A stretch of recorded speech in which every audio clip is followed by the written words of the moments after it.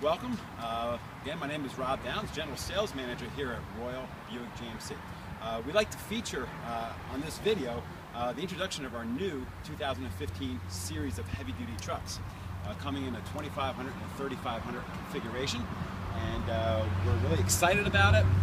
Great technology, great drivability, great comfort features, but one of the important things about a pickup truck is the capacity in the bed, we're going to touch upon those items today.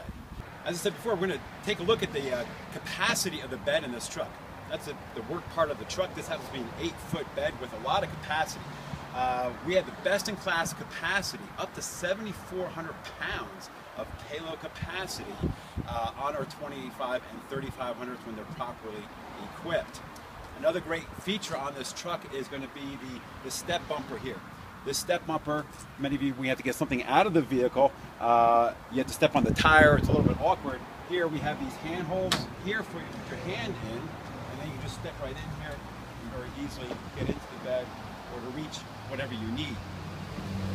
We have what we call an easy drop and an easy lift tailgate. Uh, just open the tailgate and it comes down nice and easily, no banging, no problems with that even more importantly, how easy it is to lift it up. Just with a touch of the finger, you can just lift that truck right up with a couple fingers, and that's fantastic.